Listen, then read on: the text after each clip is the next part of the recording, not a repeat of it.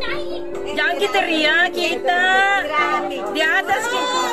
Penemuan seekor ular king cobra di rumah warga di Kecamatan Tanra Lili, Selasa, tanggal 5 September tahun 2023 kemarin. Ular berbisa tersebut ditemukan di dapur oleh sang pemilik rumah. Diketahui, ular tersebut memiliki panjang sekitar 3 meter.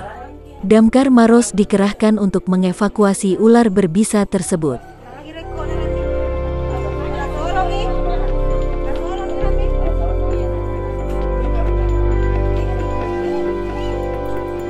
Kita gak jatuh sama situ.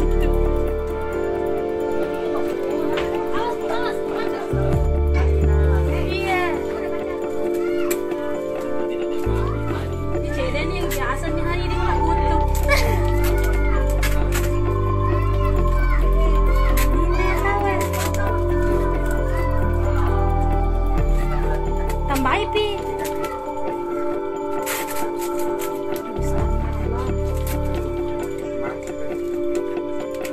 Eh,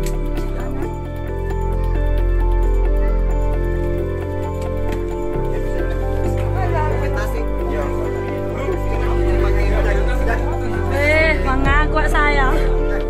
Ih, meter